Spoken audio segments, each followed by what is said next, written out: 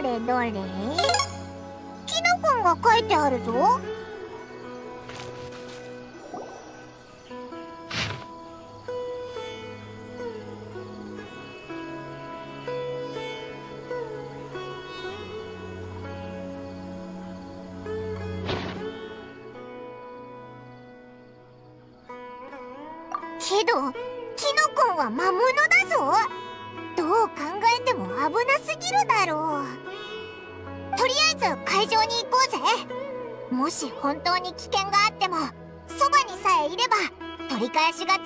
つかなくなる前に止められるはずだ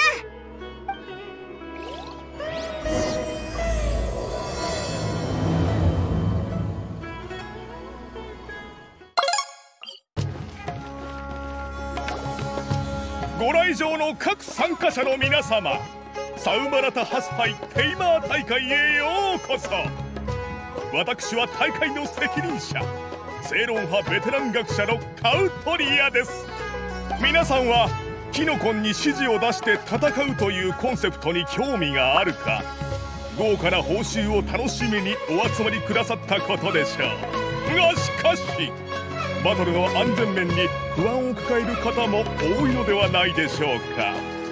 そちらに関しては私が断言いたします。今回の大会のために正論派最先端の理性増加技術を用いた英知宝珠を用意しましたので心配ご無用です。気兼ねなさらずどうぞふるってご参加くだされ。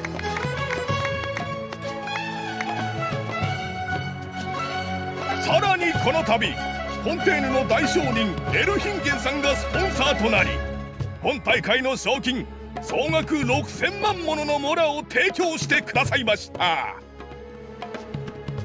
さらに決勝戦の後に行われる最終テストに通過しエルヒンゲンさんの理念を貫く能力を持っていることを証明できた方にはなんとエルヒンゲンさんの全財産が与えられますぞ!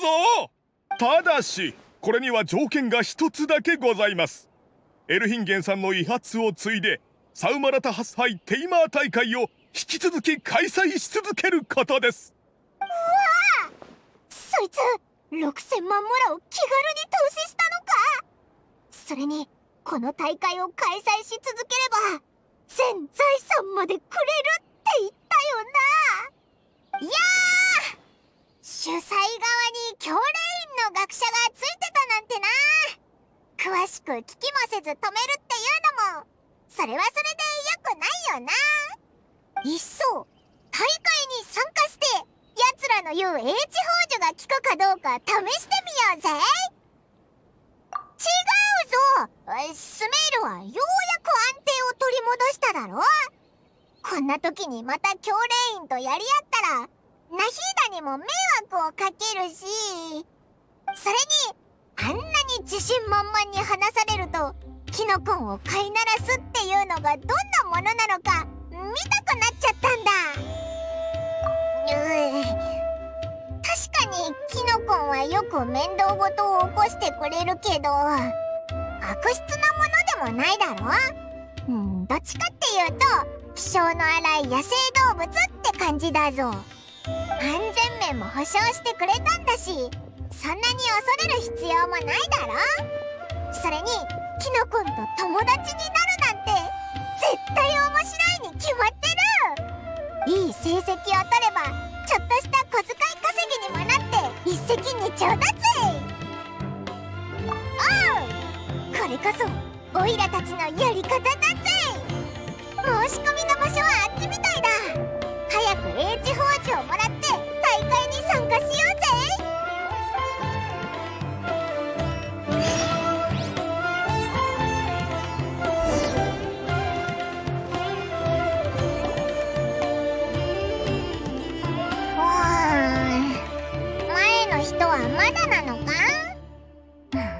もう少し待ってみるか。ゴールド流星の旅人にシルバー万世のパイモン？君たちもこの大会に参加するの？え？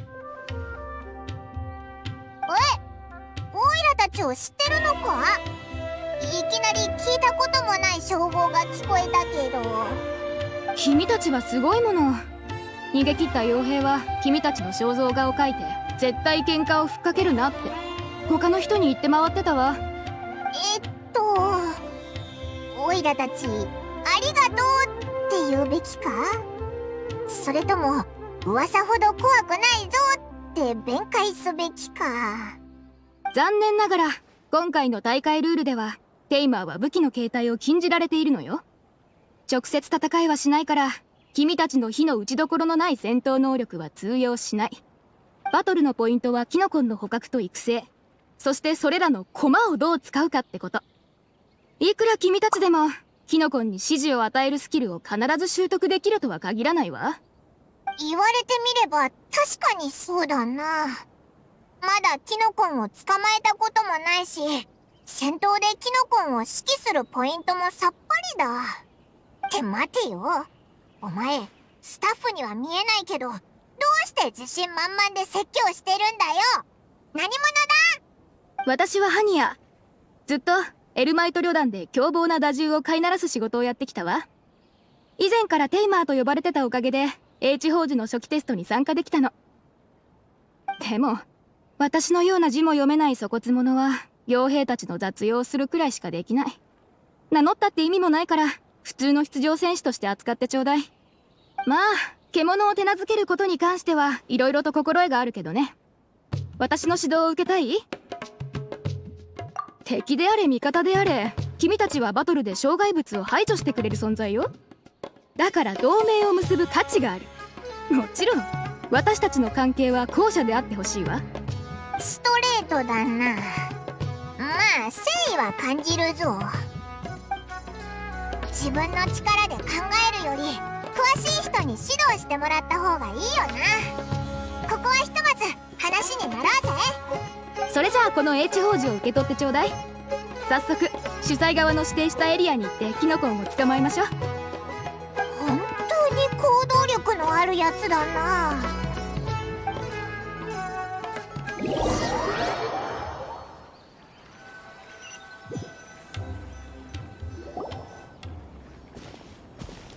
ここが捕獲エリアよ。この一帯のキノコンは H 宝珠との相性がいいからトレーニングやバトルに向いてる H 宝珠はキノコンを捕獲したり収納したりすることができる。それ自体も操縦装置なの。だからキノコンごとにあだ名をつけた方が指示しやすくなるわ。例えば私の隣にいるこいつのことは炎1って呼んで。炎元素のキノコン1号という意味なの。元素の種類に番号？なんかシンプルすぎないか？このキノコン元気そうだしぴょんぴょんハッピータケなんかどうだ？余計な。いえありがとう。でも私には自分なりの命名規則があるわ。シンプルで分かりやすくて指示しやすいことが重要なの。そうだな。もう炎1で呼び慣れてるだろうし。分かった。もう案は出さないでおくぜ。でもオイラたちがつけたすごい名前を聞けばしたくなるかもしれないぞ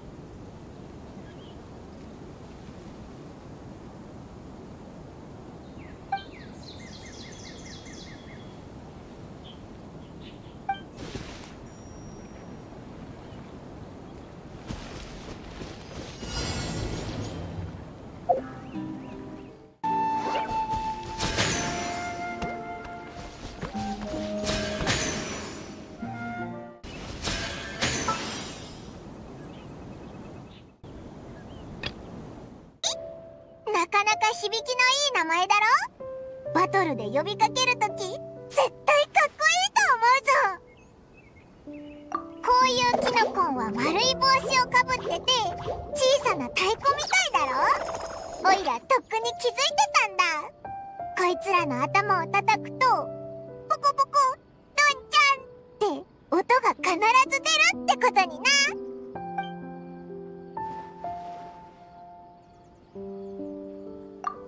見ろ。こいつも喜んでるぞ。この名前を気に入ったみたいだ。それじゃポコポコビーニーに決まりだ。ポコポコビーニーはおとなしいな。子犬とか猫みたいだ。キノコにもこういう一面があるなんてな。これからよろしくなポコポコビーニー。さてと残りのキノコンを一気に捕まえてポコポコビーニーにチームを組んであげようぜ。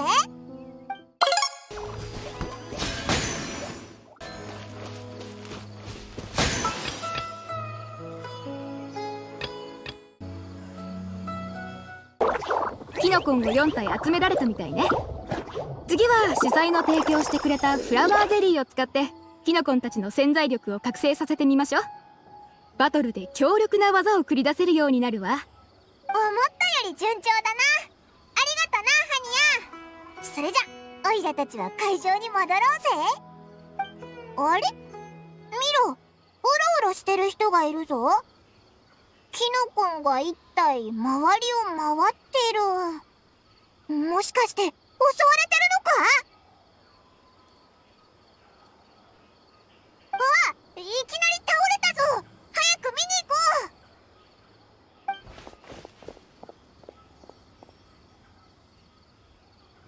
う。はあ力が入らない。一歩も動けない。おい大丈夫か？怪我したのか？行け炎一。待って。この子は敵じゃない。私の仲間なの。私はただ疲れて歩けないだけで参戦資格をゲットするにはキノコの仲間をあと3体探さないと。まさかお前も出場選手なのか？こんなところでライバルに出会ってしまうなんて予想外。ここまでみたいだね。天々ヨーヨー銃だけじゃあなたたちには勝てない。うー天々ヨーヨー銃のことは頼みます。必ずいい成績を取ってあげて。おいおい自暴自棄になるなよ。オイラたち道を阻むエルマイト旅団じゃあるまいし。お前のキノコいやキノコの仲間を奪うなんて卑怯なことしないぞ。決着をつけたいって言うなら。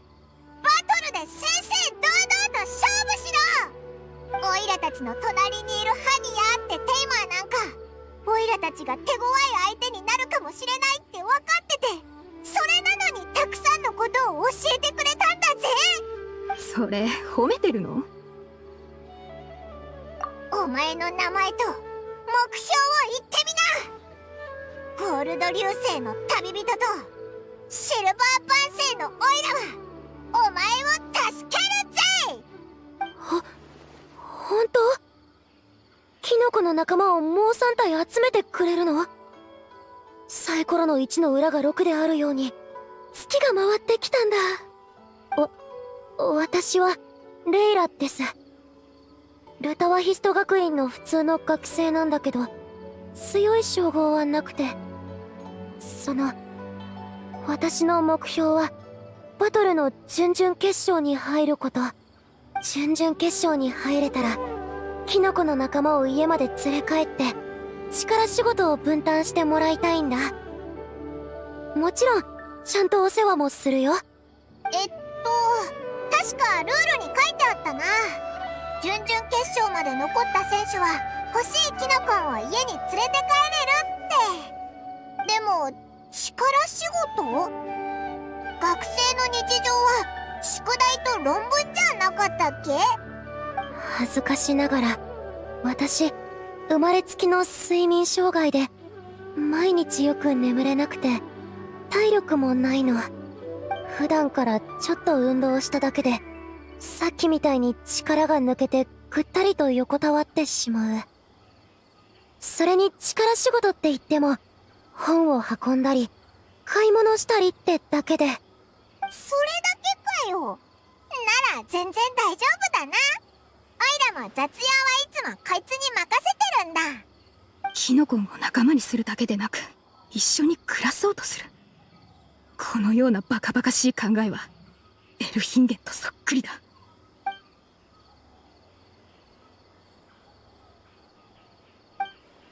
コツをすぐ掴んだ上に人の役に立てる余力すら残っているだなんておめでたいことね。うまくいくことを祈ってるわ。それじゃ。おいハニヤもう行っちゃうのか？まだお前と炎一にお礼を言ってないぞ。せめて一緒にご飯とか。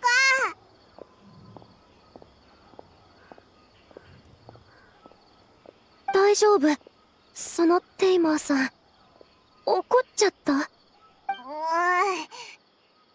そうじゃないと思うんだけどなハニヤは率直な話し方をするから近寄りがたい印象もある。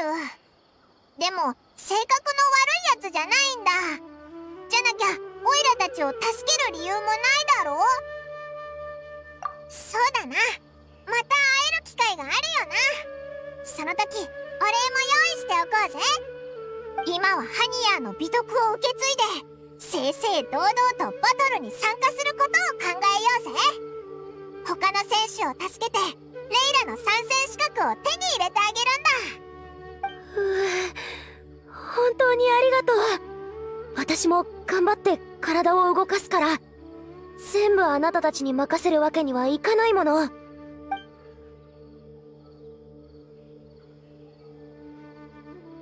たこれでレイラのチームも完成だな。今すぐ会場に戻って参戦資格を確認しようぜ。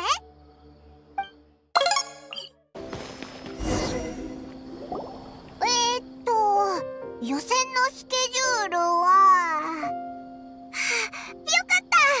レイラとはグループが分かれたみたいだ。序盤で当たらなくて済んだぜ。もっと言えば最後まであなたたちとは戦わないで済むといいんだけど。おや？わっぱたちではないかまたもや汝らは流行の最先端に現れたな。いやはやさすがは娯楽小説の主人公たりうる人物じゃ。み、み、みこおいらの目がおかしくなったのか？なんでお前がここにいるんだよ？こたびの大会に関する宣伝が稲妻にまで届いておったんじゃそれも八重堂の前でチラシを配っておったんじゃぞ。この大会娯楽小説にぴったしじゃと思わぬか？八重堂は今次の50年を風靡する傑作を作る計画をしておる。テーマは仲間と競争じゃ。故に血気盛んな若い作家を一人現場に連れてきて取材をさせておる。もちろん作家たちの原稿をよりよく品評するために今回はわらわも参加する。選手としての感覚も体験しておきたいからの。そしてこれがわらわの相棒。宗家がこやつに与えた名は百来シャラ独特な気迫があって悪くないと思うぞ。まさか巫女まで来るほどの大きな戦いになるなんて。そうか。こやつらと知り合っておくがよい。必ずや汝に立ち向かう最強の敵となるじゃろう。小説における重要キャラクターにしてもよいぞ。は、は、はい編集長様こ、ここ、心に響く作品を作るためにき、き、決して臆さずか、必ずや、あなたたちを倒しますおおたとえ巫女の腹心だからって手加減はしないからな。その息じゃこの感覚つかめたか？対戦の前に最も重要なライバルに宣戦布告をする。雰囲気を最高に高める寛容なシーンじゃ。ま、ま、全くつかめていません。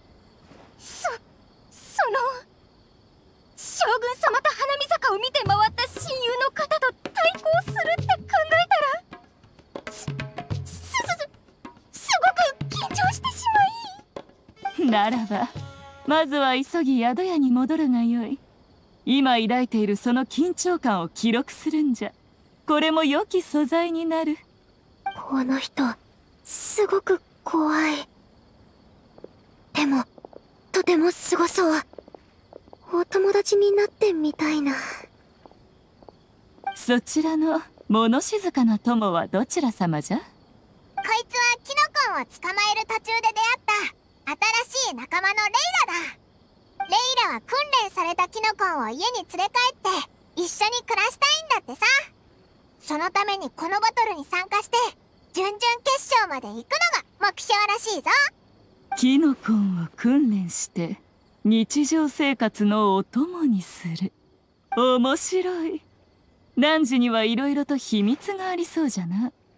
発掘していけば非日常的な物語が作れそうじゃ。わらわは八重美子。趣味で娯楽小説の編集者をしているんじゃが汝に少し興味を持っておる。よろしく頼む。ふなんて答えたらいいか全くわからない。そうだ二人とも。この間は本当にありがとう。予選の準備のためにも。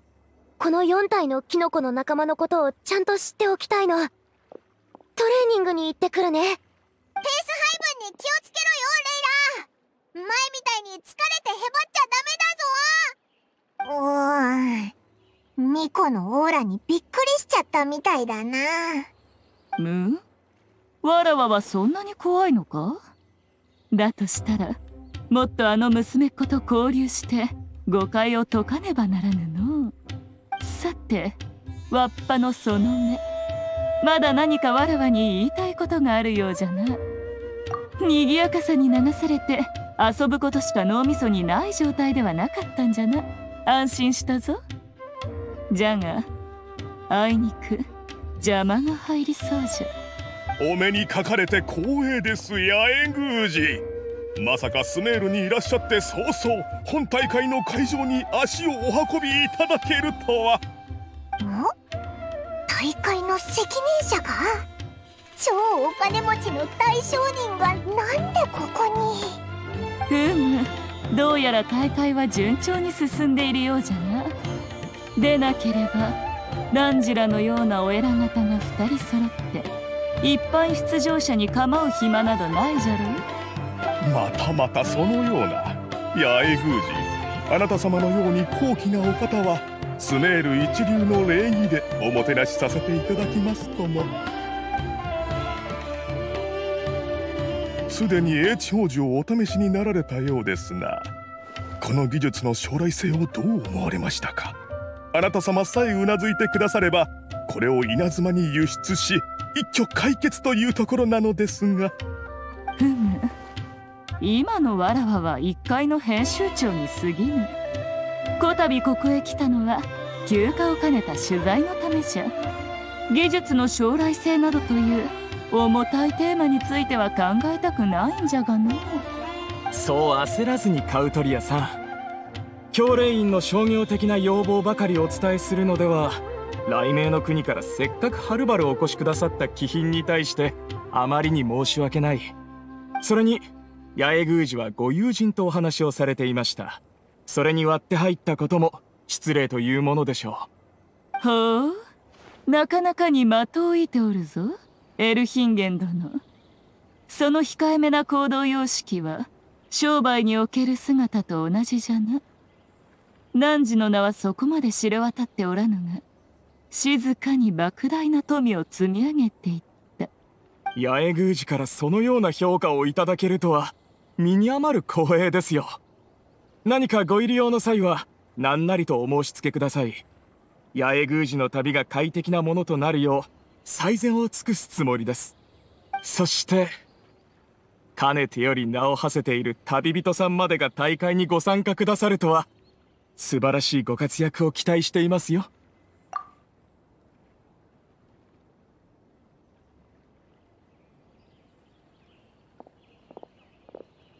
ミコあいつらはお前と仕事の話をしに来たんだろ？こんな無下にしちゃって本当にいいのか？特にあの大商人。あいつと協力すれば八重堂にだってメリットがたくさんあるはずだろ？新しい競技活動をこれほど迅速にテイワット各地に広めることなどダミ大帝の商人にはできぬ。それほどまで強力な相手とは組みたくないの。それにこの大会は始まったばかりじゃ。結末がどういう風になるかはまだわからぬ。とりあえずはわらわも楽しみながら不安要素に心を留めておこうと思ってね。キノコは見た目は可愛いがその体内には強力な元素の力を秘めておる。このような魔物に対して完全に警戒心を解くのは得策ではなかろう。ミコこの大会が危ないんじゃないかって思ってたんだ。それにしてもこの英知宝珠は本当に不思議だよな。これに影響されたキノコンはみんなポコポコビーニーみたいにすごくおとなしくなるんだ。だからオイラたちもずっと気を張る必要はなくなったんだけどさ。パイモンは相変わらずのんきで元気いっぱいじゃなわらわもそろそろ自分の役をこなさんといかんの大会の出場者として事前準備をしに行くとしよう。それではまた予選でな。ほれ百来シャラ二人にお別れの挨拶をするんじゃ。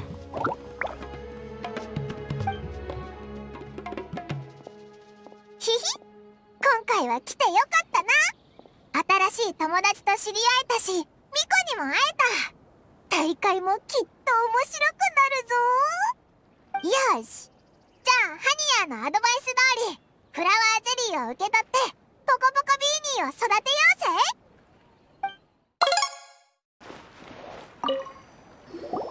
ついに来たな優勝候補。